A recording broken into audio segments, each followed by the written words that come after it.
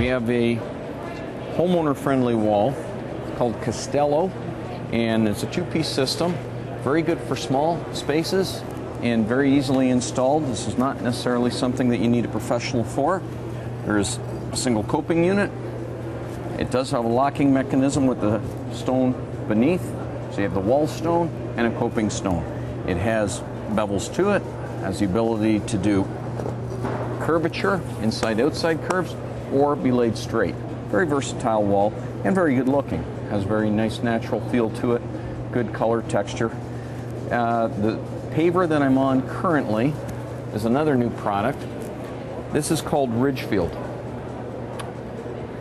The Ridgefield stone has taken the texture of natural stone and the look of a square cut flagstone, maintained a very uniform grout line type of a joint with the use of polymeric sand or a stabilizing sand gives you the effect of, of almost a tile or a square cut flag that's been mortared.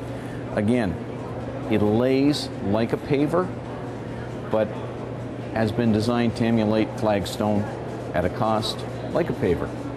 Uh, one other one that is here as well is just an accent stone, which has been added to our portfolio.